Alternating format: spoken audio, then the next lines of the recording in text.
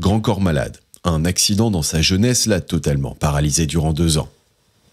Le 16 juillet 1997, Fabien Marceau, surnommé Grand corps malade, a eu un accident qui a failli lui coûter la vie. Sorti vivant de ce drame, il a été néanmoins paralysé durant deux ans. Le fameux jour est resté gravé dans la mémoire de l'auteur du livre Patient. Fabien n'a pas baissé les bras face à la paralysie dont il a été victime.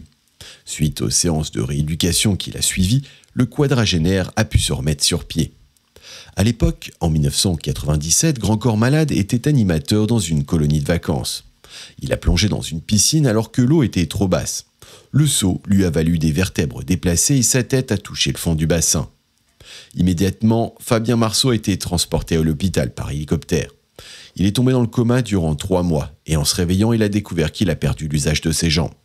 Les médecins, abandonnant l'homme à son sort, ont été convaincus qu'ils ne pouvaient rien pour le jeune homme. Alors que les personnels soignants ont perdu espoir, Grand Corps Malade, un surnom dû à sa grande taille et son passé d'ailleurs, lui, ne s'est jamais avoué vaincu. Se battant toujours, le père de famille a été transféré dans un institut spécialisé où il a subi des séances de rééducation. Contre toute attente, le slammer a pu remarcher. Depuis, sa vie a changé. Fabien a d'abord écrit Patient, qui est sorti en 2012. Le livre en question a été adapté en version cinématographique cinq ans plus tard. Outre son talent pour l'écriture, il a également débuté sa carrière en musique. Un album est déjà disponible avec un titre spécial en duo avec Camille Lelouch. Côté cœur, Grand Corps Malade fit le parfait amour avec sa femme Julia Marceau.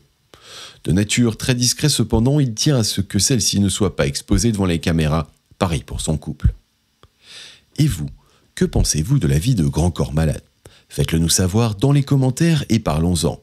Si vous avez aimé la vidéo, n'hésitez pas à la liker et à la partager. Et surtout, n'oubliez pas de vous abonner à notre chaîne. Merci et à bientôt dans les prochaines vidéos.